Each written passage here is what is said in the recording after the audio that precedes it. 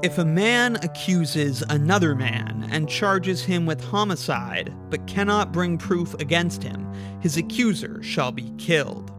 If a man breaks into a house, they shall kill him and hang him in front of that very breach. So go two of the provisions described in the Louvre Stele, which is better known as the Code of Hammurabi. The Louvre, the most visited art museum in the world and itself a historical monument of France, has the first copy of this text ever discovered on display in room 227. Going in the direction of the nearest staircase, you'll enter room 228 where you'll find a chipped statue of the head of a woman. Turning left into room 229, you'll find this incredible mural of a Lamassu, a winged, man-headed, five-legged bull wearing earrings, which was a protective deity to the Assyrian people. Indeed, the ancient Mesopotamian people were artists, but what I know them best for is their mathematics. Unfortunately, math has never been quite as beloved as winged and man-headed gods, but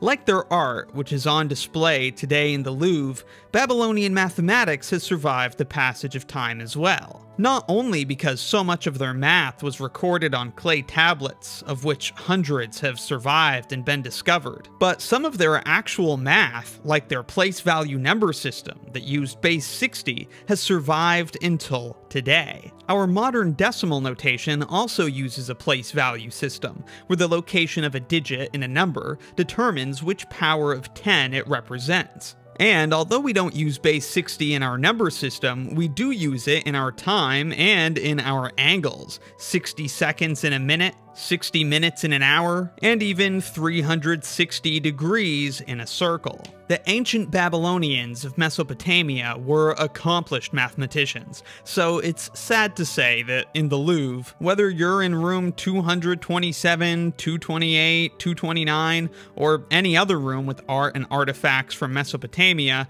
you won't find clay tablet AO6770. It's in their Department of Oriental Antiques collection, but sadly is not currently on display in the museum. Thankfully though, the Louvre documents their collection quite well, so although it isn't on public display, we do know what this tablet says. It's a clay tablet dated around 1700 BC that was found in the region of what was once Mesopotamia, but is now Iraq. And it poses the following problem. How long will it take for a sum of money to double if invested at a 20% interest rate compounded annually? And just before we get into the math, I want to remind you that this video is brought to you by my math fashion brand, Mathshion.com. This is one of my favorite designs we have available right now, which actually features a backdrop of the ancient city of Babylon. This is on a t-shirt, but you can also get it on a mug or a canvas.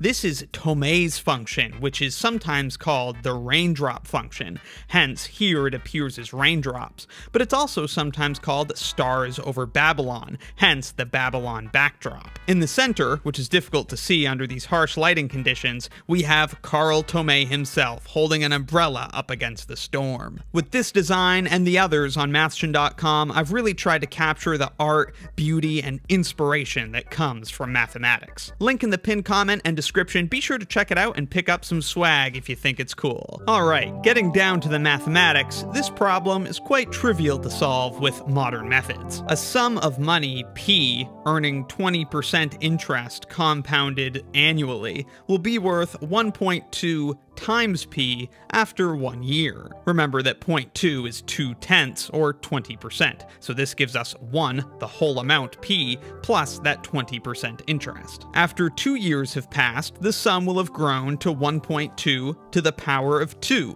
times p. And in general, after x years have passed, a sum of money p earning 20% interest compounded annually will be worth 1.2 to the power of x times p. And according to the problem on the tablet, we need x so that the sum of money has doubled. Hence, we need this to equal 2 times p. It's no surprise that at this step we can cancel the p's from both sides because the initial sum doesn't affect the relative growth rate. And so we are left with this equation to solve, 1.2 to the power of x equals 2. Now, some of you may not know how to solve an equation like this because the unknown, x, is in the exponent. When the unknown is in the base, like x to the power of 2 equals 9, it's very simple to take the square on both sides and find that x must be equal to 3, or being detail-oriented, it of course could also be negative 3. Getting rid of the exponent to solve for the variable requires roots and radicals. But if we need to get rid of the base to solve for the unknown that's in the exponent, we need something called a logarithm. Specifically, because the base is 1.2, we need the base 1.2 logarithm. If you haven't seen logs before, it is really quite simple, but you need to make sure you're paying attention to the base. For example, the log base 2 of 8 is equal to 3. This is because the base of 2 to the power of 3 is equal to that input of 8. So you can see if we put 8 into the base 2 logarithm, it takes that base of 2 away and leaves us with the exponent, 3. If we put 10,000 into the base 10 logarithm, we get an answer of 4, because that base of 10 to that exponent of 4 gives us this input of 10,000. An example with the 1.2 base is that the base 1.2 log of 1.44 is equal to 2. This is because if we take that base of 1.2 and square it, we get that input of 1.44. And in general, if a base b raised to a power x is equal to a, then the log base b of a gets rid of the base and just gives us the exponent. So that's why we need to use a base 1.2 logarithm in order to solve this equation for x. So we take the base 1.2 log on the left side and take the base 1.2 log on the right side. We're doing the same thing to both sides of the equation. In each case, it will produce the exponent that a base of 1.2 requires to get the input. Of course, a base of 1.2 requires an exponent of x to get this input, so on the left it just cancels out and gives us x. However, to figure out what exponent 1.2 needs to produce 2, we'll need a calculator. Most any scientific calculator will do, but I'm going to use my rare, limited TI-83 Plus Silver Edition. The log function on most calculators by default uses base 10. However, we can convert it by dividing our result by the log of the base we desire. So we'll divide this by the log of 1.2. This gives an answer to five decimal places of 3.80178. We can check our answer by raising 1.2 to this power and confirming that it is very nearly 2. So it would take 3.80178 years for the money to double under these circumstances. That's about 3 years, 9 months months and 23 days. That's easy enough, but we've completely abandoned what's on tablet AO6770 in the Louvre collection. This tablet shows an answer of 3.7870. It's not as accurate as what we got, but it's off by less than 1%. So how was such an accurate computation achieved by the Babylonians on this clay tablet from 1700 BC? Obviously, they didn't have electronic calculators to quickly compute logarithms, but also they didn't even have logarithms at all. Logarithms wouldn't come around until John Napier introduced them in 1614. In the absence of logarithms, the Babylonians employed one of the earliest uses of a method called linear interpolation. This technique takes points from an unknown curve and assumes the curve behaves linearly between them. As long as a curve isn't too curvy between the points being used, it can provide a pretty good approximation. Even today, the technique is commonly used due to its great practicality. To solve the doubling money problem, the Babylonians noticed 1.2 to the 3 was 1.728, which is less than 2. It's too small. But 1.2 to the power of 4 is 2.0736, which is greater than 2. That's too big. So the exponent of 1.2 that would produce 2 had to be between 3 and 4. So they're looking for the x-coordinate that produces this point of intersection between the curve 1.2 to the power of x and the horizontal line y equals 2. By using linear interpolation, they will instead find the point of intersection between this black line connecting the two known points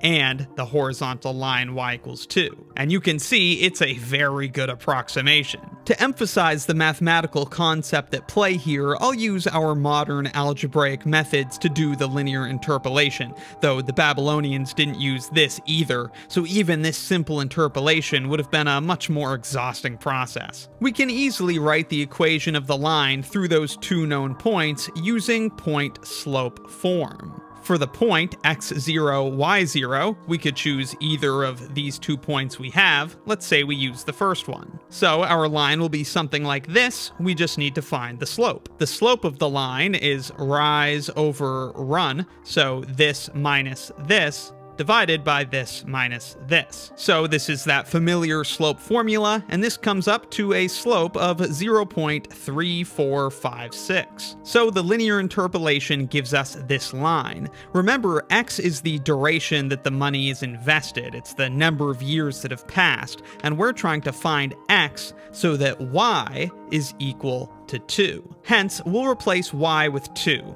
2 minus 1.728 is 0.272. And on the right side, we're going to want to get x by itself, so why don't we just go ahead and divide both sides by 0.3456 now. So we'll put this over 0.3456. This, of course, then is equal to x minus 3 since we divided this out. So to finish solving for x, we just need to add 3 to this. Once again, using my limited silver edition TI-83 Plus, we have 3 plus 0.272 divided by 0.3456, producing an answer of 3.7870. And that's how the Babylonians found a solution with well under 1% error to this compound interest problem thousands of years before electronic calculators or logarithms. As a final note, it's worth mentioning how this answer was actually expressed on the clay tablet. Like we mentioned earlier, the Babylonians used a base 60 or sexagesimal number system. So on the tablet, the answer is given as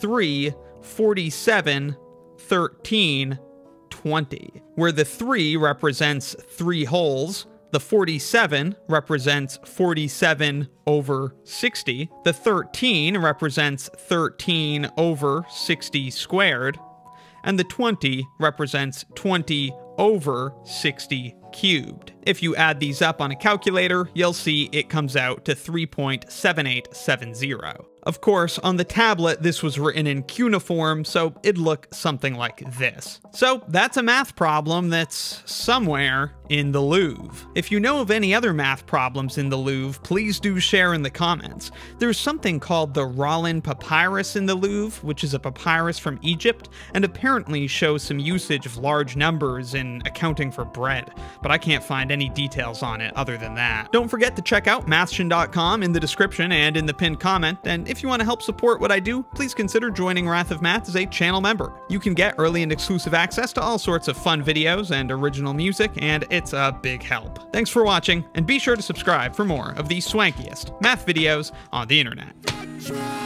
I'm unstable, I'm feeling hard to keep the cable If Texas Instruments don't reply, I think this time it might be fatal. Wish to sell my own fake, cause I'm jaded. Hate the odds that I calculated. Press and pull and pray and push it all the way through the whole blue planet. Faded. Psychosomatic habits, why you so